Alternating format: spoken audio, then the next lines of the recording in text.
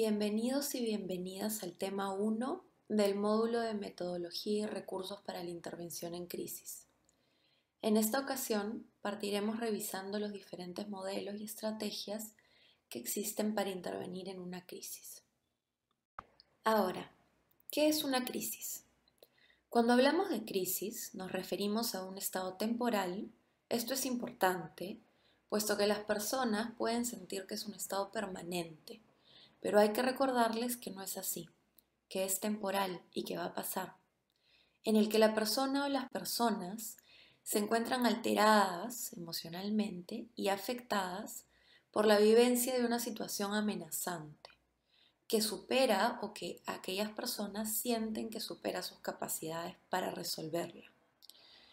Una crisis puede venir o puede devenir de un desastre natural, de un accidente, de la muerte de un familiar, etc. Es importante que quede claro que crisis y desastre no son lo mismo. Un desastre puede generar una crisis en la persona o en el grupo de personas que vive el desastre, pero las crisis son de diversos tipos y de diversa índole. Y además varían de persona a persona. Ahora, ¿qué sí es una categoría excluyente para hablar de crisis? Una crisis siempre afecta la salud física y o mental de las personas, y es aquí donde entra a tallar la intervención. Ahora bien, la intervención en crisis tiene tres etapas que son claves. Todas son igual de importantes. La primera etapa es la preparación, en la cual las personas que brindarán la ayuda deben informarse sobre la situación que han vivido las personas damnificadas y sobre el contexto cultural de estas personas, puesto que cuando entramos a un nuevo espacio tenemos que entrar con mucho respeto, con mucha empatía y establecer en un inicio una alianza, un rapport con las personas. Y para eso necesitamos saber cuáles son las características específicas de su contexto cultural, qué normas, qué costumbres tienen para adaptarnos a aquellas normas y costumbres. La segunda etapa es la etapa de primera ayuda psicológica o la etapa de respuestas mínimas, que es aquí donde nos vamos a detener, puesto que es aquí donde se interviene principalmente. Y la tercera etapa es la etapa de respuestas integrales o de respuestas a mediano plazo, que tiene que ver con el monitoreo de la situación de crisis y con el fomentar recursos colectivos del grupo y estrategias de afrontamiento internas del grupo. Lo vamos a ver en la siguiente diapositiva. El objetivo de la intervención en crisis en nuestro país, es decir, de acuerdo al MINSA, es lograr un correcto acompañamiento psicosocial. ¿Qué implica esto? El acompañamiento psicosocial es el conjunto de actividades que busca proteger y promover la autonomía de las personas en su propio cuidado, mental o físico, luego de una crisis, facilitando que se den actividades de apoyo mutuo y acciones colectivas. ¿Qué quiere decir esto?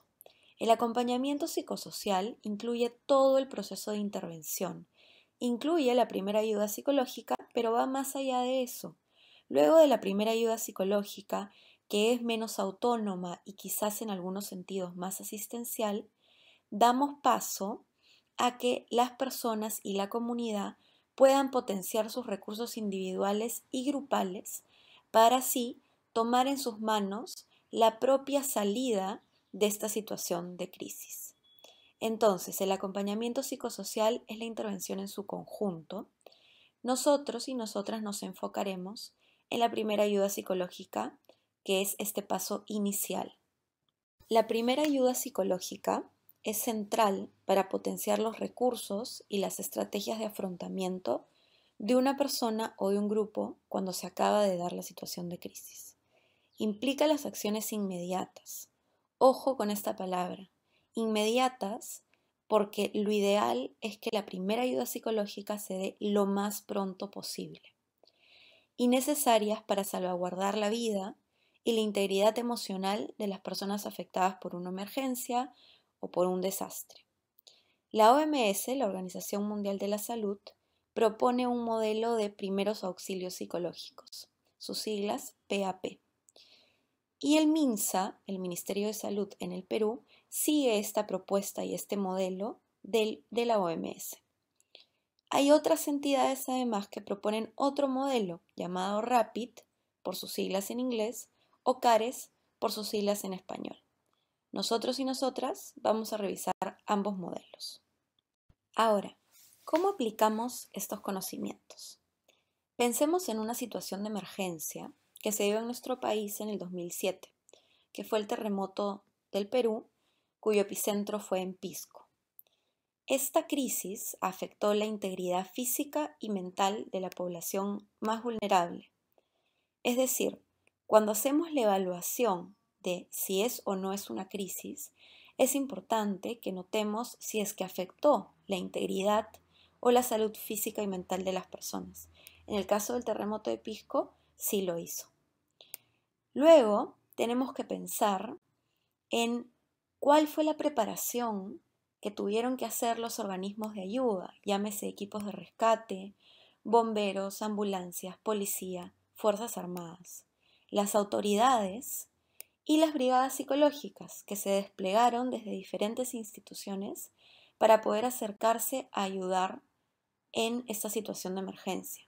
De hecho, las brigadas psicológicas utilizaron el plan o la propuesta del Ministerio de Salud de los primeros auxilios psicológicos para poder intervenir en la zona de desastre. Luego, se establecieron planes de recuperación a mediano y largo plazo, es decir, planes de acompañamiento psicosocial que de hecho hasta el día de hoy siguen en actividad.